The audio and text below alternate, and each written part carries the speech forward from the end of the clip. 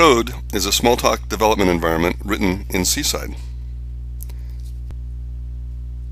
tODE mimics the web browser paradigm but browses Smalltalk images instead of web pages.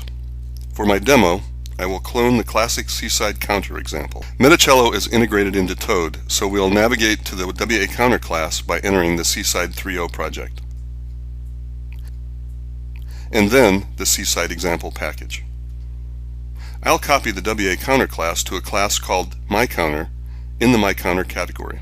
tODE is object-centric, so instead of working with the boring myCounter class, let's create a live instance of myCounter and work with that. Just type a Smalltalk expression in the navigation pane and hit return. We are now looking at the tODE inspector on the result of the expression. In addition to the Inspector tab, there are a number of aspects of myCounter that can be viewed. Under the View tab, we see the description of the Seaside component, a link to view the component in the browser, and a button to initialize the component. Let's view the counter. and return to tODE. The Help tab contains a set of links to the online Seaside documentation and the comment for the class.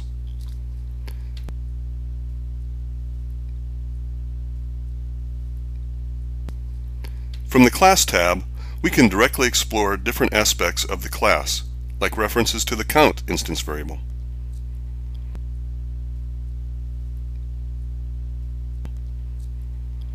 Let's use the history pane to return to our myCounter instance. The method pane gives a view of the methods for the myCounter class. We can explore the method and with a couple of clicks look at implementers of the anchor method.